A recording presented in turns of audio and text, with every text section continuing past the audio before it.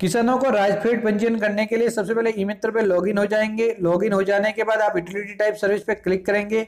उसके बाद सर्च के अंदर आप राजफेड टाइप करेंगे तो Rajfed farmer registration for supported price purchase तो इस वाले सर्विस का सेंड करके ओके बटन दबाएँगे तो आप यहाँ पे आ जाएँगे। यहाँ पे आपको अलग अलग ऑप्शन मिल जाएँगे। तो जिस फ़सल का आपको पंजीयन करना है, उसके ऊपर यहाँ पे इस प्रकार से क्लिक कर लेंगे। क्लिक करते ही आपको ओके बटन देंगे, अनुमति दे देंगे और यहाँ पे जो नियम है उसको आप पढ़ लेंगे। तो रेड कलर में नियम है, इनको पढ़ के समझ लेना है। उसके अकॉर्डिंग ही आपको आवेदन करना फिर आप आगे बढ़ेंगे तो यहाँ पे किसान के जन आधार कार्ड संख्या या फिर दोस्तों एनरोलमेंट नंबर जो भी अवेलेबल है वो आप डाल देंगे। फ़र्स्ट वाले में Jan Aadhaar card enrolment second वाले में डाल रहे हैं तो आधार कार्ड संख्या आप यहाँ पे डाल देंगे। जैसे ही आधार कार्ड सॉरी दोस्तों, जैसे ही यहाँ पे जन आधार कार्ड संख्या आप डालेंगे तो यहाँ पे इस प्रकार से जन आधार कार्ड के सभी सदस्य आ जाएँगे। उस सदस्य का सेंड करेंगे जिसका कि आपको फॉर्म भरना है। जस्ट उसके आगे वाले पॉइंटर पे क्लिक करके सिलेक्ट करे पे क्लिक करेंगे ऑटोमेटिक जन आधार कार्ड से आधी डिटेल फिलअप हो जाएगी।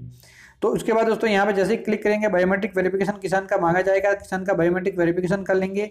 ओनली यहाँ पे बायोमेट्रिक वेरिफिकेशन ऑप्शन अवेलेबल है तो आप ओनली बायोमेट्रिक वेरिफिकेशन करेंगे ओटीपी ऑप्शन इस वक्त अवेलेबल नहीं है। जैसे यहाँ पे क्लिक करेंगे बायोमेट्रिक वेरिफिकेशन सफलतापूर्वक हो जाएगा और यहाँ पे दोस्तों देख सकते हैं, आधार कार्ड संख्या वगैरह आ जाएँगी। तो फ़सल ले जाने वाले किसान का नाम आप ओनली यहाँ पे दर्ज कर लेंगे। दूसरी डिटेल अपने आप आ जाएगी जो ऊपर वाली है, फिर आप आगे बढ़ेंगे। मोबाइल फ़ोन संख्या नहीं आती तो वो भी आप यहाँ पे दर्ज कर लेंगे और एड्रेस यहाँ पे अपने आप आ जाएगा। तो यहाँ तक आपकी कंप्लीट डिटेल हो जाएगी। उसके बाद आप आगे बढ़ेंगे, यहाँ पे बैंक खाता आएगा। तो आप बैंक खाता की कंप्लीट जाँच कर लेंगे, जो जन आधार कार्ड से अपने आप ले लेता है। तो इसकी जाँच करना अनिवार्य है, इसी खाते के अंदर पैसे आते हैं। इसके लिए अगर बटाईदार हैं तो बटाईदार की जो, यानी कि जो हिस्सेदार होता है, जो खेत पे काम करता है तो वो भी है तो उसका अगर आप फॉर्म भर रहे हैं तो बटाईदार का आप स्थिति ले लेंगे, वरना लेने की ज़रूरत नहीं है, और यहाँ पे बैंक खाता संख्या एक बार ज़रूर जाँच कर ले, अगर गलत बैंक खाता संख्या है तो आपको पैसे नहीं मिलेंगे। उसके बाद कहाँ पे फ़सल बेचनी है तो खरीद केंद्र का चयन करेंगे तो सबसे पहले यहाँ पे ले लेंगे खरीद केंद्र, फिर क्रय विक्रय सहकारी समिति ले लेंगे उसके बाद खरीद केंद्र का चयन कर लेंगे। जो भी इस क्रय विक्रय सहकारी समिति में खरीद केंद्र अवेलेबल है, वो सभी आ जाएँगे। तो जहाँ से आप फ़सल, जहाँ पे समर्थन मूल्य पे फ़सल बेचना चाहते हैं, उस केंद्र का चयन कर लेंगे। उसके बाद दोस्तों ये वाला भाग कंप्लीट हो जाएगा। उसके बाद दोस्तों आपको अपने गिरदावरी की रिपोर्ट यहाँ पे दर्ज करनी है। जो भी आपकी खेत की ज़मीन आई हुई, जितनी भी गिरदावरी एक, दो, तीन है तो एक ही बार में आपको सभी एक एक करके एक ही फॉर्म में दर्ज कर लेनी है। तो सबसे पहले आपका पटवार हल्का कौन सा लगता है, वो आप लेंगे। यहाँ पे सभी पटवार हल्के दिखाई देंगे। जो भी आपके एड्रेस है, उसके अकॉर्डिंग तो आप यहाँ पे अपना पटवार हल्का ले लेंगे। तो यहाँ पे पटवार हल्का ले लेना है। तो मैं यहाँ पे पटवार हल्का ले लेता हूँ। उसके बाद दोस्तों यहाँ पे ग्राम ले लेगा। आपको ग्राम कौन सा है? उसके बाद दोस्तों, आपको अपने खाता संख्या यहाँ पे दर्ज कर लेने हैं, जो कि गिरदावरी के सबसे ऊपर अंकित होते हैं, जो डिजिटल ऑनलाइन आप डाउनलोड करते हैं। उसके बारे में पहले ही वीडियो बना हुआ इसी नीचे वीडियो के नीचे लिंक मिल जाएगा कि डिजिटल गिरदावरी आप कैसे डाउनलोड कर सकते हैं।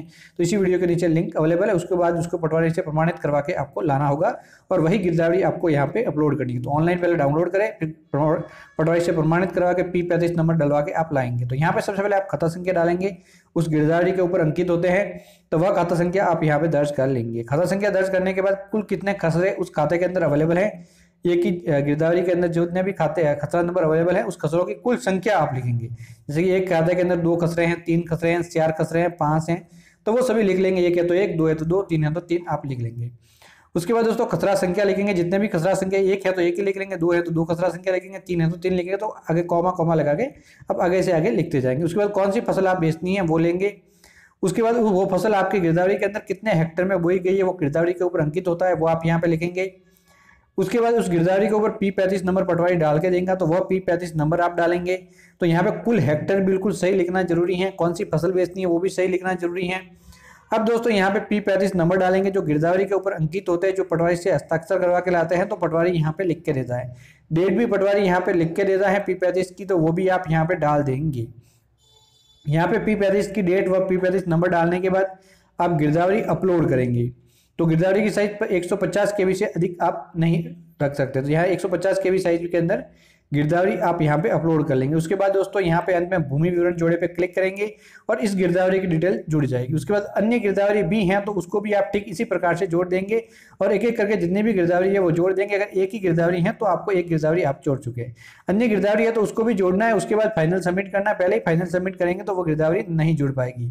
तो इस बात का भी विशेष करके आपको ध्यान रखना है कि जितने भी गिरदावरी आपके पास अवेलेबल है, वो एक ही बार में सभी जोड़ ले, ये जोड़ ली, अब दूसरी जोड़ दे, फिर इसी प्रकार से भूमि विवरण पर क्लिक करके तीसरी जोड़ दे। उसके बाद में रिकॉर्ड सेव पे क्लिक करेंगे, इस प्रकार से डिटेल आएगी, आप जाँच करेंगे, फिर रिकॉर्ड सेव पे क्लिक करेंगे।